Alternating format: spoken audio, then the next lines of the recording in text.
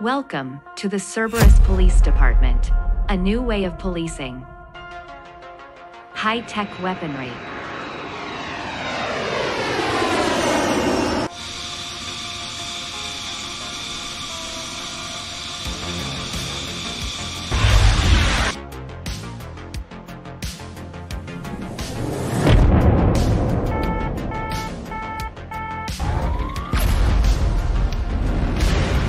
High-end uniform made of the most advanced materials.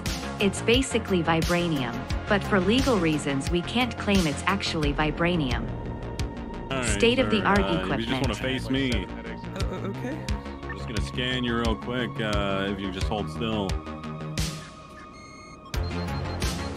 Give him the do-over, Sam. I'm gonna go on my iPad All right, sir. It says right here you're a pervert. Is that true? No, I, no. Cerberus doesn't believe the people protecting the city should be struggling financially.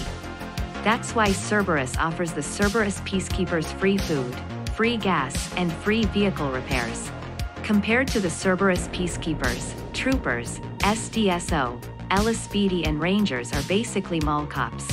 While the world is on the brink of nuclear war, Cerberus is making preparations to leave this planet behind and establish a utopia on the moon.